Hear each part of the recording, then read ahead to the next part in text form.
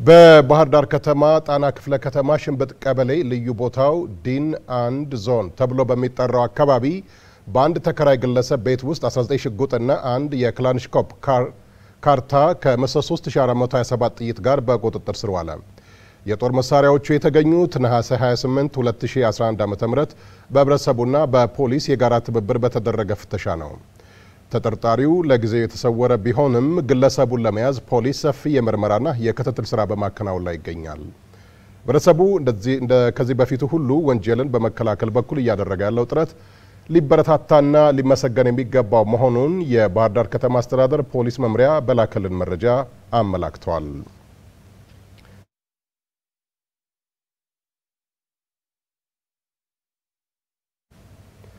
በፈለገ ህይወት ሪፈራል ሆስፒታል የህክምና አገልግሎት በመቋረጡ ህብረተሰቡ ለእንግልት መዳረጉን የአማራ ቴሌቪዥን ትናንት መዘገቡ ይታወሳል። በወቅቱ ስራ አቋርጠዋል የተባሉ የህክምና ባለሙያዎችን ሀሳብ ለማካተት ቢሞከርም ፈቃደኛ ባለመሆናቸው ሀሳባቸውን አላስተናገድንም።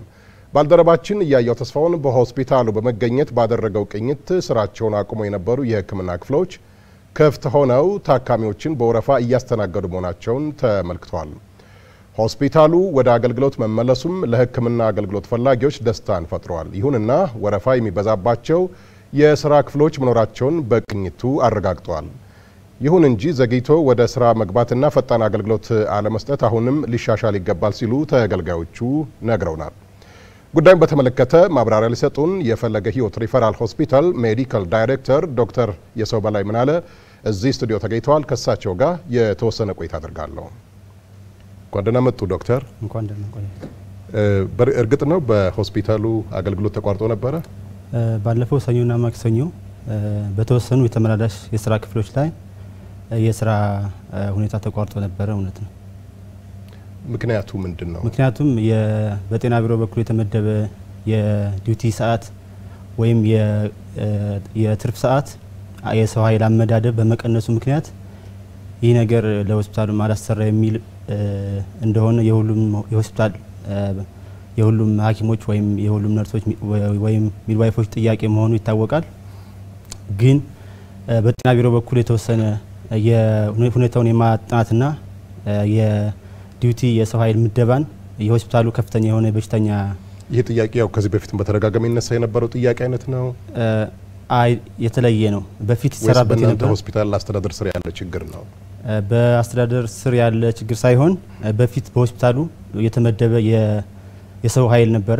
በጤና ቢሮ በኩል የተመደበ የተፈቀደ ብዛት ነበረው።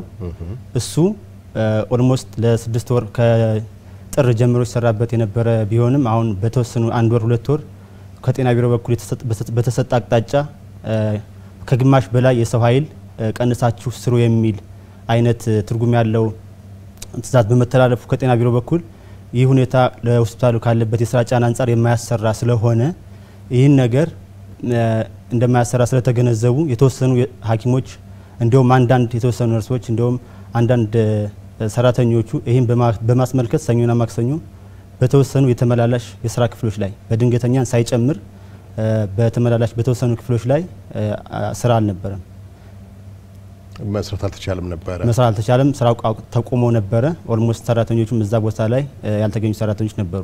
ይህንን ከሚመለከተው ከጤና ቢሮ ጋር ሆስፒታሉ አልተነጋገረም እና መፍትሄ አልፈለጋችሁ ማለት ነው? ከጤና ቢሮ ጋር በተደጋጋሚ ስብሰባዎች ተደርገዋል። በሆስፒታሉ ማኔጅመንት እንዲሁም በሆስፒታሉ ቦርድ አማካኝነት ከጤና ቢሮ ጋር የጤና ቢሮም የተወሰነ የአጥኚ ቡድን መድቦ በዚህ ጉዳይ ጥናት ለማድረግ ሞክሮ ነበረ።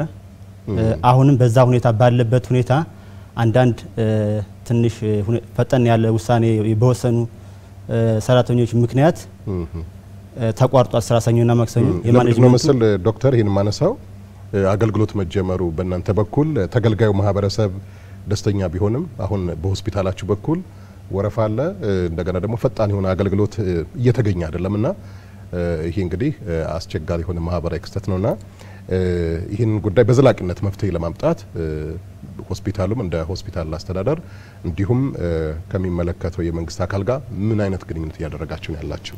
ሆስፒታሉ የሆስፒታሉ ማኔጅመንት እንዲሁም የሆስፒታሉ ሰራተኛ ባለው አቅም ያለውን የ patient ወይም የበሽተኛ ጫና በመቋቋም እየሰራ ይገኛል። አሁንም ይገኛል። የተቋረጡ ክፍሎችን በሚመለከት ድንገተኛ ያልሆኑት ክፍሎች ነበሩ። በማኔጅመንቱን በኩል እና በሆስፒታሉ ቦርድ በኩል የተደረገው እንቅስቃሴ ጤና ቢሮን በማሳመን ጫናውን ለመቋቋም የሚያስችል የትርፍ ሰዓት አመዳደብ እንዲስተካከል በተደጋጋሚ ተጠይቋል። የትርፍ ሰዓት አመዳደብ ሲባል ሲባል ለምሳሌ የጤና የአጠቃላይ ሐኪም ወይም general practitioner በፊት የሚመደበው ለ duty ሰዓት ጠቅላላ ሐኪም በፊት duty 43 ሰው ነበር overnight የሚያድረው። አሁን ጤና ቢሮ የተለያዩ ጤና ቢሮ ለምንድን ነው ሰው መቀነስ ያስፈለገው? ከችግሩ አሳሳቢነት አኳያ የጤና ቢሮ ጥያቄ ማቅረበን ነበረ። የነርስ የሶስት shift ፈረቃ ነበረ በፊት። እሱ በመቅረቱ ምክንያት በጣም የተጋነነ የሆነ የትርፍ ሰዓት ክፍያ በመጨመሩ ምክንያት ሰው መቀነስ አስፈለገን ብለው ስላሰቡ ከግማሽ በላይ 43 የነበረ ሰው ወደ 18 በመመደብ ይህ ሁኔታ እንደማያሰራ እየታወቀ ቢሆንም ግን ይህን ሁኔታ በጥናት ለማረጋገጥ የጤና ቢሮ የራሱን አጥኚዎች ልኮ እያጠና ባለበት ሁኔታ ነው የተፈጠረ ሂድ የስራ ማቆም በተወሰኑ ክፍሎች ላይ ያለው የስራ ማቆም አሁን ምን እየተደረገ ነው ችግሩን በዘላቂነት ለመፍታት? እንደዚህ አንዳንድ ባለሙያዎች ይህን ሁኔታ የቀሰቀሱት ስለሆነ እነሱን በማነጋገር ማኔጅመንቱ ለጊዜው ስራው እንዲ- እንዲ- ስራው እንዲጀመር ሙሉ ክፍሎቹ በመከፈት እንዲሁም አንዳንድ ወረፋ ያለባቸውን ቦታዎች ስፔሻሊስት ሐኪሞቹንም ተጨማሪ አድርገን በመመደብ እዛ ቦታ ላይ ለመፍታት ሁለት ቀን የተቋረጠውን የስራ load ለመፍታት ጥረት እያደረግን ያለ ነው።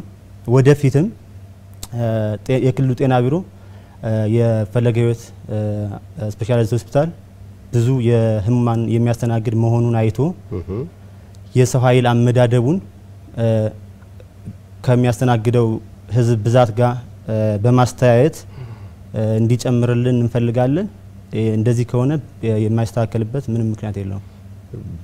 እንደው ካልደጋገምኩት በስተቀረ በዚህ ረገድ ከቢሮ ጋር ያደረጋችሁት ንግግር አለ ወይስ የተወሰደ እርምጃ አለ? ከቢሮ ኃላፊ ጀምረን እስከ ቢሮ ማኔጅመንት በተደጋጋሚ ነው አዎ ስብሰባዎችንም አድርገናል፣ ተወያይተናል። ያለውን ችግርም በጋራ ለመርዳት ሞክረናል። እንደዚህ ነው ያለው ሁኔታ። በጣም አመሰግናለሁ ዶክተር የሰው በላይ ምናለ የፈለገ ህይወት ሪፈራል ሆስፒታል ሜዲካል ዳይሬክተር እዚህ ስቱዲዮ ተገኝተው ለሰጡን ማብራሪያ ከልብ አመሰግናለሁ።